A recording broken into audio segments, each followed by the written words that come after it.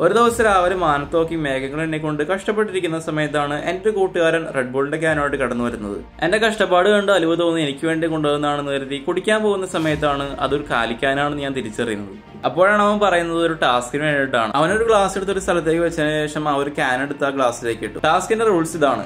ഗ്ലാസ്സുമേയോ ക്യാനുമയോ touch ചെയ്യാതെ വേറൊരു സാധനത്തിന്റെ സഹായമില്ലാതെ ആ ഒരു ക്യാൻ ഗ്ലാസ്സിൽ നിന്ന് മാറ്റണം. കുറച്ചു നേരത്തേക്ക് എന്റെ മനസ്സിലൂടെ സ്കാർലറ്റ് ബിച്ചും ഡോക്ടർ സ്ട്രേഞ്ചും സ്പൈഡർമാനും കടന്നുപോയി. അങ്ങനെ ഒരു മണിക്കൂർ എന്ന് കഷ്ടപ്പെട്ടിട്ട് നടക്കാതായപ്പം തോൽവി സമ്മതിച്ചു കൊടുക്കാൻ തുടങ്ങുന്ന സമയത്താണ്. അപ്പം മോറൽ ഓഫ് ദി സ്റ്റോറി എന്താണെന്ന് താഴെ